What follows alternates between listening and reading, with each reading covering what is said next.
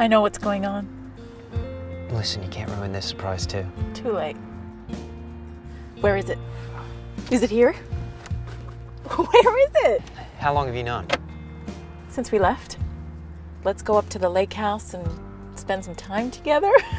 Where does that come from? So not you. Not me. No, not you.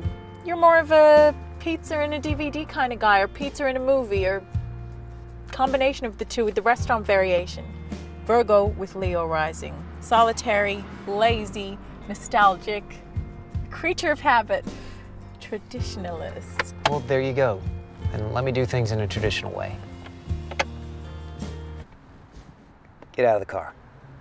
You want to leave me here? I, I, that, that's an option.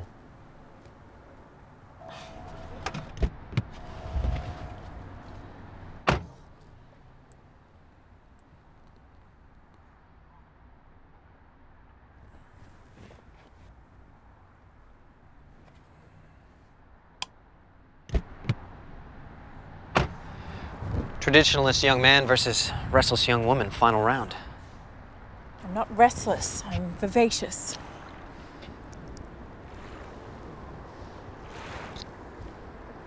I'm not restless. Right. Okay. um, so I'll. Uh, yeah. yeah. Okay. So. Don't interrupt me, please. Oh God, I knew it. You prepared a speech. No, I didn't. Um, but even though I'm improvising, I'd still rather not be interrupted. Caitlin. Harley, uh, are you sure? Listen, I'm just gonna keep going, okay? Caitlin. If you know me, you know yourself. So, So, everyday life deals us a lot of shit. Living is hard. what would I do without your optimism? I'm serious. There are so many challenges to face. The system we live in challenges us every day. We're constantly under attack. TV, taxes, pre cooked food. It's easy to let feelings die. I don't even know what you're talking about, but I know we're gonna end up in therapy. It's hard to keep up the enthusiasm. It's hard to be completely sincere every day as you would like to be. You'll get pissed. Yeah, it's true.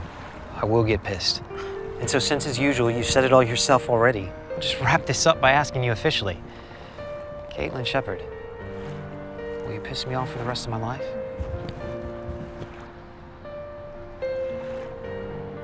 I do.